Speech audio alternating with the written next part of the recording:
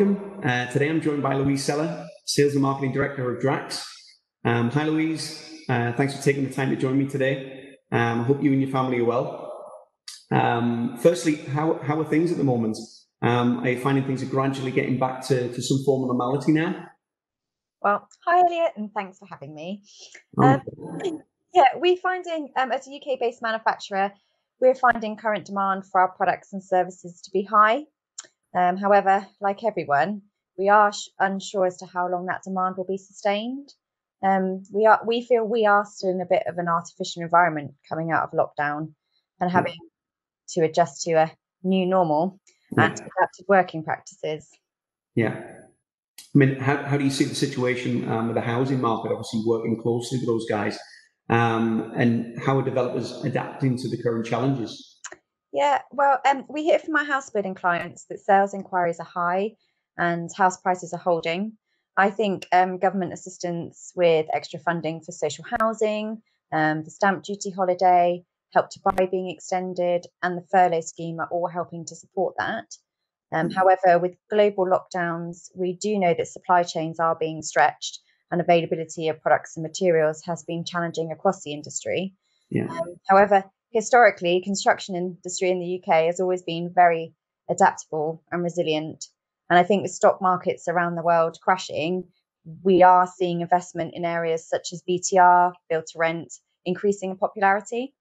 Okay, no, that's obviously positive. Uh, stuff. Yeah, definitely. Yeah.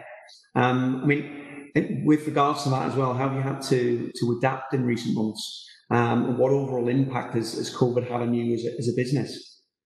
So COVID's had quite a profound effect on us as a business and how we work. Um, as an SME, we've had to review and adapt across all areas of our business, um, from social distancing practices and increased hygiene in our factory to how we package, deliver, and install our materials in a COVID secure way. Um, mm. We have also worked hard, as I think everybody has, to set up our staff so they can work from home happily, um, with more of us working remotely, we've devised efficient ways to communicate as a team. Um, and equally, we are working well with our customer base in the same way. Okay, yeah. I mean, obviously, with you with you working at home, you know, how, how have you found that, and has it has it been challenging, especially sort of developing designs and ranges and working with clients? Um, you know, I mean, how, how have you had to adapt when working with them? Um, and has working more remotely had an, an impact on this as well? Yeah, well, um, you know, first and foremost, the health and safety of our staff and customers has kind of always been our number one focus, which is why those in our business that can are still working from home. Um, I think actually it's been a real, overall, a real eye opening and positive experience um, for us as a business. Um, it means, for example, my team and I have more time to focus on our clients' requirements instead of traveling to and from appointments. Um, it means as a business, our carbon footprint has been reduced. Um, and it's definitely made us reflect and actually invest um, in improving the digital way we communicate with our clients. Um, we're very lucky to have te- with technology these days um, and have found that with the help of things like our in-house CAD design team um, and platforms such as Instagram, it's been very easy to help clients come up with designs and ranges through lockdown. Um, I personally do miss face to face contact we had with our yeah. clients pre COVID. Um, however, I think the human element of having a shared common experience, something like lockdown, in some of our existing relationships and really helped cement some solid foundations with new clients. Um, even with some of the technological challenges experience today with internet connections. Of course, yeah. yeah. Um, I mean, as you know as well, obviously we launched the, the new decorative collection um, back in February now, um, with obviously our most comprehensive collection to date. I mean, how, how have you found working with, with that specifically? Um, you know, with the new collection, um, and what has been the reaction from from designers? Yeah, so um, overall, the response to the new collection has been extremely positive. We can never quite predict how change will be received, um, but the feedback that I've had myself and I know my team have had um, is that the overwhelming majority of the changes have been for the better. Um, I also personally feel that the improvements to the existing boards in your collection and the introduction of some of the new finishes and textures are fantastic for our product ranges. Yeah, oh, that's great. That's great. Yeah, it's good. Good to hear. um, I mean, as well as having the, the usual tools, you know, such as the, the new global swatch, um, as we've just discussed in terms of um, in light of recent challenges. Um, we've also had, had, the new app, um, which has been created to, to make the collection more accessible, of course. Um, with features such as the 2D and 3D visualization, the decor scan downloads, and you know, obviously there's the virtual design studio on there, and of course the, the sampling and ordering service, you know, which is all available to download from from Google Play and, and the App Store, etc. Um, I mean, have, have you had the opportunity to, to use this yourself? And if so, how has it helped you um, in the, the working environment?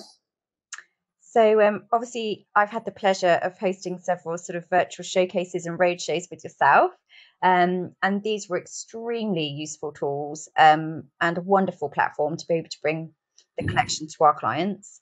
Um, we know that on the back of that and everything else that you promoted, that the clients are now using features such as your 3D visualiz- visualizer, um, which has been great for us in the current climate um, when clients are trying to select their finishes remotely. Um, we also know that our clients are now using your online sample ordering system, which again has been a great tool for us to be able to offer to our client base. Oh, and we use that too personally. So that's good. oh, that, well, brilliant. Um, so again, you know, thanks for your time um, today, Louise.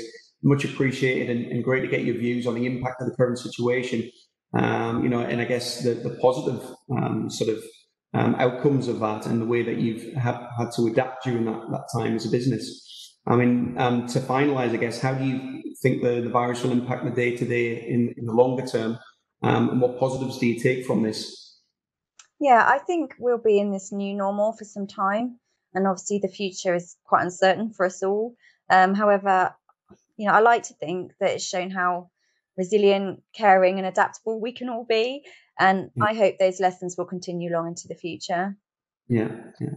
Okay. Um, and, and, one last question um, from me. Um, what's the main thing that you've had um, that you've taken from all of this? Um, and what's the one thing that you'd say has changed changed for the better? Well, we adopted a quote um, during lockdown by Charles Darwin, which goes like this: "It's not the strongest of the species that survive, nor the most intelligent, but the one most responsive to change.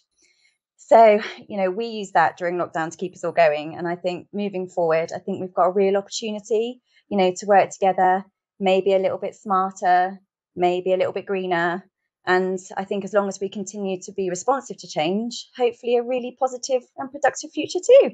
Oh, that's brilliant. Always like to end on a positive note. Definitely, yeah. No, well, that's great. Well, thanks again for your time. Um, really appreciate it and uh, look forward to, to seeing you again soon. Yeah, me too. Take care. Thanks, Louise. Thanks. Bye bye.